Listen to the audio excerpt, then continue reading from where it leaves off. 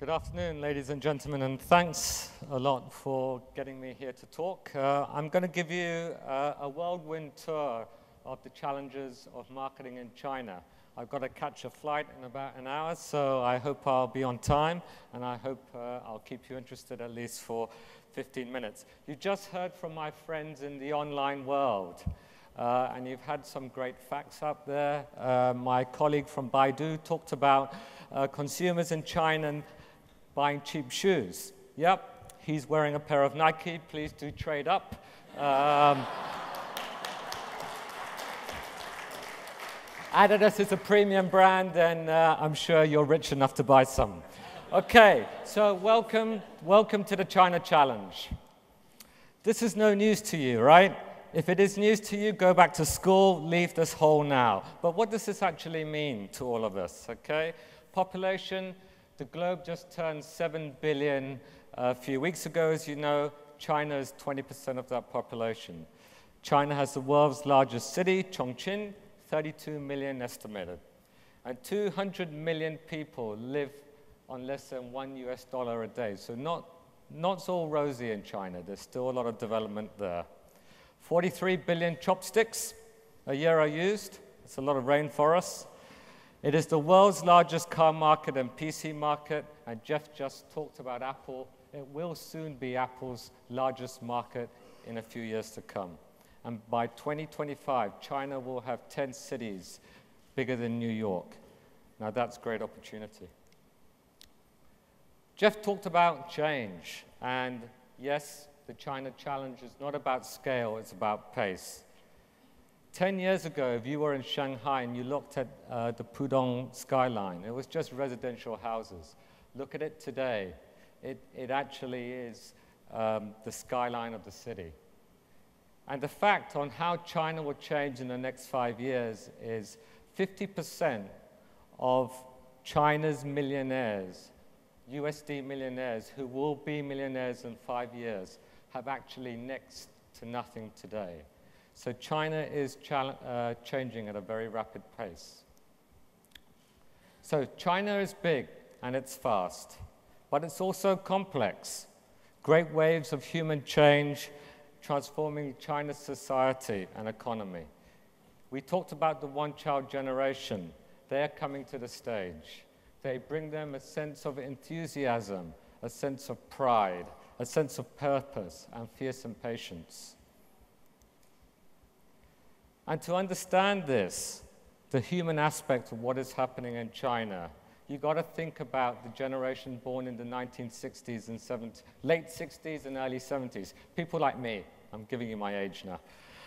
Uh, by the time they near the end of their lives, those people have experienced more change than almost anyone has in the history of humanity.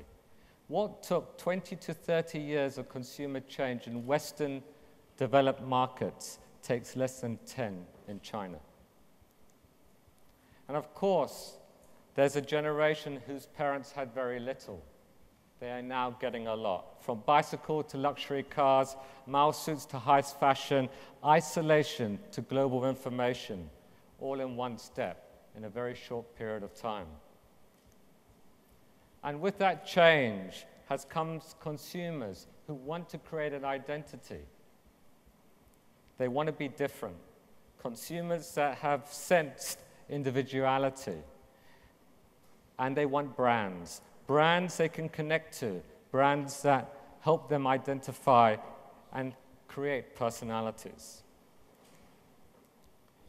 But the geography is shifting from the East Coast, where the commerce is today, to the West. From cities which you're all familiar with, Shanghai, Beijing, Guangzhou, to metropolitan areas in the West that one doesn't really hear of. And it is here that the scale becomes complex and the challenges for us marketers. In just four years' time, China will be approaching 600 cities which have over 100,000 or more affluent middle class consumers. Some of those cities will have a population and economy that outrank many European countries of today. And so China's middle class is on the rise. The next decade will bring 270 million consumers into the segment. China, by 2020, will have the top middle class consumer market. And by 2030, China will account for 18% of global spending.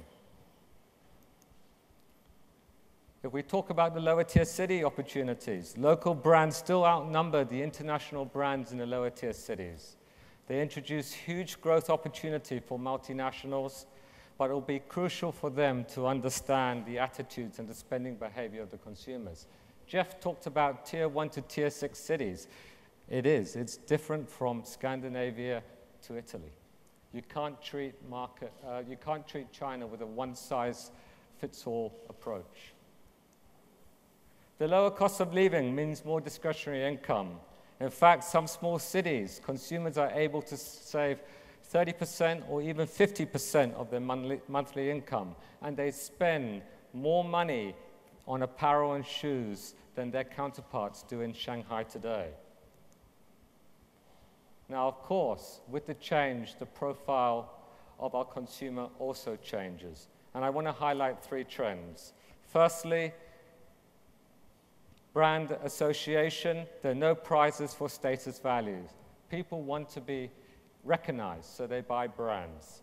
Secondly, there's a constant flux of the relationship between consumers and the origin of brands. And finally, in consumer, consumers are wanting to buy brands because they're recognized as tangible success. I've arrived. I'm wearing a brand. Tiger Mum. This picture speaks a thousand words. The youth are under huge pressure to succeed in the China marketplace but they yet don't want to be coined as self centered and independent. They want to be known as the best, as innovative and creative. So at the same time, we must recognize they want to be individuals. And of course, in almost any category that you guys are working on, you can think of the explosion of choice and competition. As it says, we are all fighting for the attention of consumers. There is also a struggle for their personal association, and there is no loyalty. Quite quite simply, what happens in the minds of the people we are discussing will determine the fate of our companies in the next years to come. You want a marketing challenge? You've got it. It's China. Now, of course, one of the biggest errors in addressing China is that people are not all the same. One country, two worlds. Therefore, you need two different go to market strategies. In the higher tier cities, it is as mature as Western cosmopolitan cities. In the lower tier cities, they're like emerging markets. So your go to market strategies have to be fundamentally different from each tier of city as they evolve from emerging to developing to mature. So let's talk about the consumers. For the higher tier youth, Consumption is part of the personal identity. For lower tier, it's a sense of belonging. For higher tier youth, it's about being individual and being cool. For lower tier, it's about being cool but being part of something. The higher tier youth demands stimulation, stimulation, whereas their counterparts crave variety. And I just mentioned the two groups see brands very differently. Higher tier youth are seeking individuality and buy brands to express what they want to be, and the lower tier want to trade up from the local brands to international brands, which are a status symbol. So, how does Adidas win the hearts and minds of the China consumer? The answer is a combination of research, focus, and desire to win. It's simple. We must understand to connect to our consumer. Earlier this year, Adidas launched its biggest and most significant brand campaign in the brand's history. This campaign allowed the brand to show the breadth and depth of the three sub-brands it offered. Our objectives were to create awareness for the brand and to reinforce loyalty by engaging all consumers. On this level, we are talking to the Chinese consumer simply as a global citizen. Let's watch the commercial.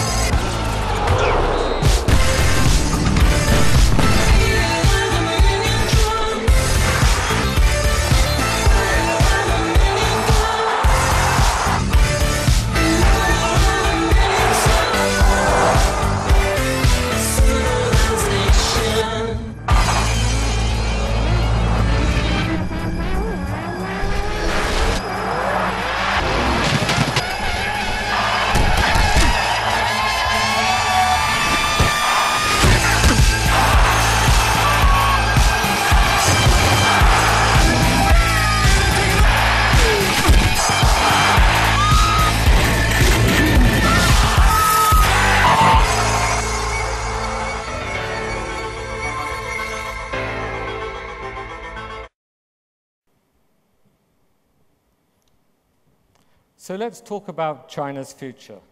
Everyone is talking about this, especially the APEC leaders in Hawaii over the weekend. We have barely begun to contemplate the full implications of China's rise, culturally, environmentally, military, ethically. Our whole world will change in our generation. And just to emphasize, by 2020, China will be the world's largest economy. Indeed, if we judge the economy on the basis of spending, how far the money in your pocket will get you in buying everyday goods, China will be the largest economy in just two or three years' time. And as China gets older in the next decades, we need a much more sophisticated understanding of the 50 year old. As we all know, the China consumer is getting older. And all too often, we combine the various groupings that come under this category. Is a 55 year old CEO the same as an elderly person who's in care? The aging population does pose enormous social and political changes, but there's a new generation and a new market of time rich consumers which will be available for brands to connect to. What we call the empty nesters of today will have huge wealth in the future. So China is getting older and the youth will be living in places such as India and Indonesia. However, the China retirees will make up the continent of Europe. Right now, China makes up about 10% of the world economy. By 2030, it will be 25%. And by 2050, the Chinese economy could be three times the size of the US. And those retirees will be rich. By 2030, income per head would have risen from just 4,000 USD to 21,000 USD. Just think what the consumer power unleashed upon the global economy will mean for all our futures. But of course, economies do not grow in isolation. In the past four, year, four years, the renminbi has appreciated 25% against the US dollar. What will happen in the next four years or the next 10 years? And if one wants to remain winners, we will be the ones who have to adapt to change. Our companies, our brands, our products need to remain relevant. And those who succeed will be those who follow the Chinese consumer on his or her journey to greater prosperity. It's not about their wallet, it's about their hopes and aspirations. It's about how their lives are changing as their country forges ahead. And that is our approach at Adidas. Yes, quality is a competitive advantage, brand equity counts, but we need to constantly innovate and remain relevant. But ultimately, it's actually coming down to putting the consumer at the heart of everything we do. Listening to them, understanding them, not just selling to them, but serving them, making real connections, and winning our place in their affections and in their hearts. If we don't, we will lose them. You will lose them. Just like we see today, many local brands are facing huge challenges as they lose relevance with consumers. It's an amazing challenge. It's an amazing opportunity for me as well. And one thing is for sure, we'll have to work all together to learn from one, one another if we want to remain at the top and be successful. Thank you for your time and have a great day.